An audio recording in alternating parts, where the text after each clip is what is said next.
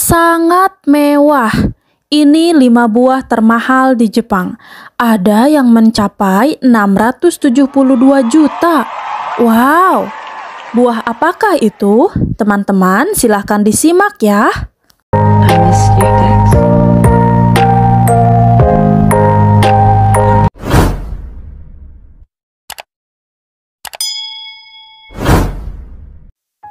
Dilansir dari All About Japan, berikut 5 buah termahal di Jepang. Yang pertama, melon Yubari King.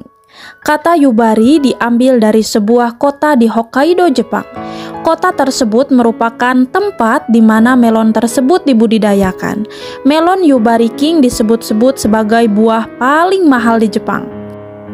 Harganya berkisar antara 2 juta hingga 672 juta per buahnya. Melon Yubari King ini dikenal dengan daging buahnya yang berwarna oranye. Buah termahal ini memiliki rasa manis dan segar.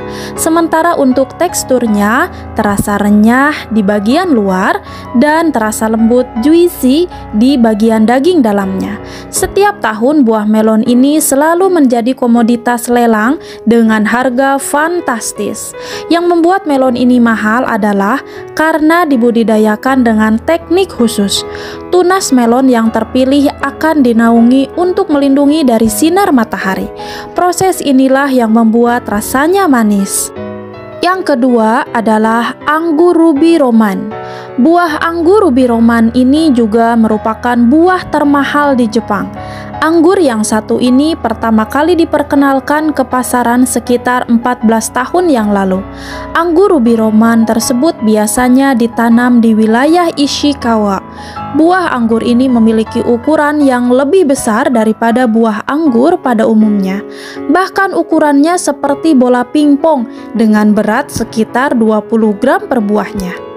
Satu tanda buah anggur ini bisa mencapai 57 juta.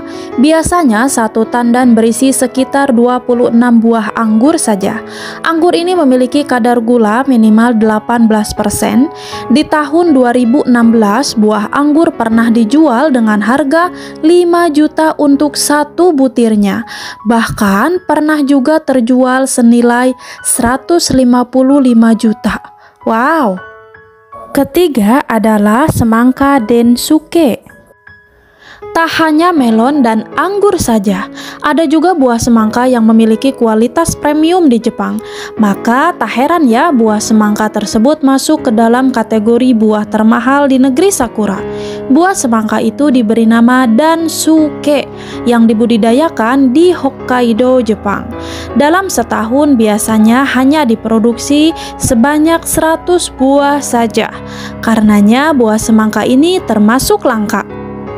Disebut sebagai buah termahal, harga satu buah semangka ini mencapai 86,7 juta rupiah. Harga itu biasanya ditentukan dengan sistem lelang. Semangka densuke memiliki kulit berwarna hijau gelap, sementara daging buahnya berwarna merah dengan rasa yang lebih manis daripada semangka mana pun. Yang keempat adalah mangga Taiyo no Tamago. Buah mangga termahal di Jepang ini dikenal dengan nama Taiyo no Tamago. Kata Taiyo no Tamago dalam bahasa Jepang artinya adalah telur matahari. Buah mangga ini biasanya dibudidayakan di wilayah Miyazaki. Harganya bisa mencapai 52 juta untuk satu kotak yang berisi dua buah saja. Buah mangga ini dikenal dengan kulitnya yang berwarna merah, sementara dagingnya berwarna oranye cerang, tebal dan juicy. Umumnya, satu buah mango Taiyo no Tamago memiliki berat sekitar 340 gram. Namun, mangga ini memiliki kandungan gula yang tinggi. Masyarakat Jepang biasa menikmati buah ini selama musim panas. Yang kelima adalah semangka square. Selain semangka densuke, di Jepang juga ada buah semangka jenis lain yang masuk ke dalam kategori buah termahal di Jepang. Buah semangka tersebut diberi nama square karena bentuknya yang kotak bukan bulat seperti biasanya. Satu buah semangka ini dibanderol dengan harga 1,9 juta. Bentuk kotak tersebut karena buah semangkanya ditanam dalam kotak kubus khusus sehingga ketika tumbuh bentuknya mengikuti wadah. Namun, rasa buah semangka ini tidak begitu manis. Buah semangka ini menjadi daya tarik karena bentuknya yang unik dan bentuk kotaknya tersebut merupakan inisiatif dari para petani yang ingin mengirim semangka lebih efektif. Bagaimana teman-teman? Apakah kalian tertarik untuk membeli salah satu buah tersebut?